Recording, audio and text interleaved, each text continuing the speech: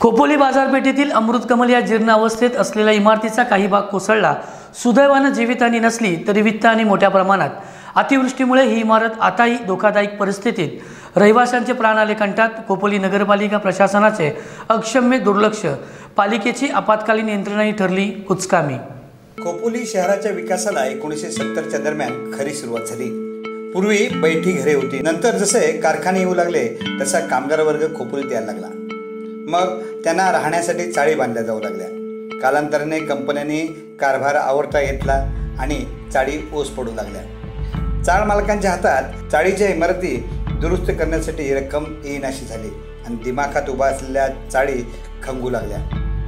त्याचप्रमाणे इतर अनेक इमारतींची अवस्था झालेली आहे. परंतु नगरपालिका प्रशासनाचे याकडे अक्षम्य दुर्लक्ष झाले आहे हे निश्चित. अशा धोकादायक असलेल्यापैकी इमारतीतील बाजारपेठेतल्या अमृत कलश या जीर्ण अवस्थेत असलेल्या इमारतीच्या अतिवृष्टीमुळे काही भाग रात्रीच्या सुमारास कोसळला. सुदैवाने कोणतीही जीवितहानी झाली नसली तरी रहिवाशामध्ये प्रचंड भीतीचे वातावरण निर्माण झाले आहे.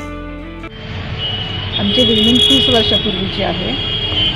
आणि मी स्वतःची म्हणजे मालकीची आमच्या एक इथे वर्षे मा मालक त्यांनी काही म्हणजे, न न केल्यामुळे ह्याच्या लोकांना त्रास होतो.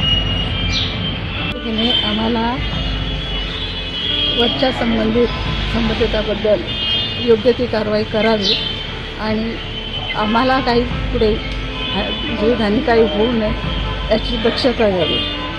खोपोलीमध्ये पावसाचे धुमशान सुरू आहे. त्यामुळे अमृत कमलचा काही भाग कोसळला.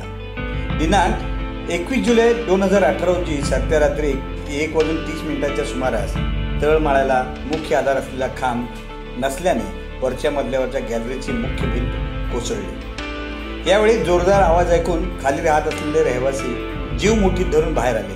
त्यामुळे मोठा अनर्थ टळला. संपूर्ण शहरात चर्चा सुरू झाली. परंतु नगरपालिका कार्यालयातील कोणीही अधिकारी या इमारतीकडे फिरकला नाही आणि रविवार अर्थात सुट्टी असल्याने पालिकेचे अधिकारी घटनास्थळी आले नाही असे समजते. परंतु आपत्कालीन कक्षाने देखील दखल घेतलेली दिसत नाही. याचा अर्थ खोपोलीकरांनी फक्त कर भरायचे आणि भरोसा देवावर किंवा दैवावर ठेवायचा. सहज समाचार करता संदीप पवार खोपोली.